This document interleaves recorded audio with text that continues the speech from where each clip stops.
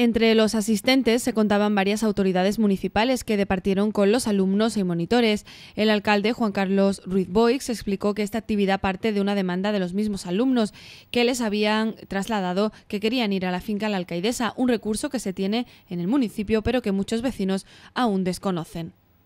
Pues una convivencia con los alumnos, con las alumnas de la Universidad Popular, que ha sido a petición de ellas, que ya hace unos meses cuando visitaba en la inauguración de este nuevo curso de la Universidad Popular, las que nos proponían el conocer pues todos esos recursos que tiene el ayuntamiento y que muchas sanroqueñas y muchos sanroqueños no conocen, como por ejemplo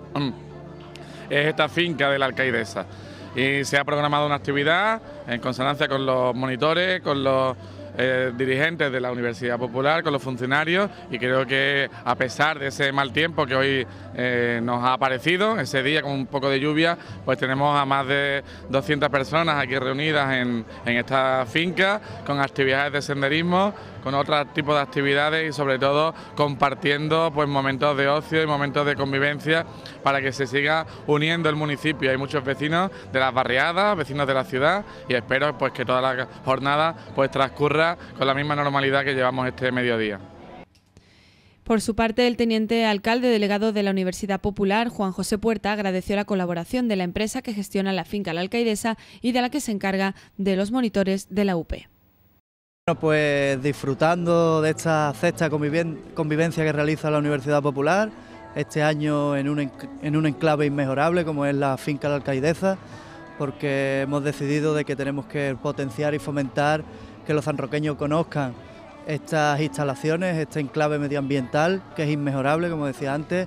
y pasando un día agradable, la compañía de numerosos alumnos de la Universidad Popular. Era un reto que nos marcamos desde el principio de la legislatura este equipo de gobierno, recuperar las diferentes actividades que se venían desarrollando año tras año y que el anterior equipo de gobierno no había apostado en estas diferentes actividades de convivencia y lo hemos puesto en marcha, pese a las dificultades económicas. También hay que decir que los recursos económicos que aporta el ayuntamiento en este caso pues son cero.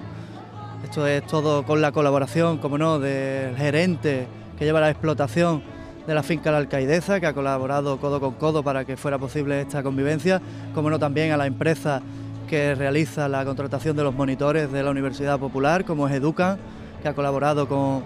pues poniendo a disposición lo que es el arroz, el arroz para todos los alumnos y monitores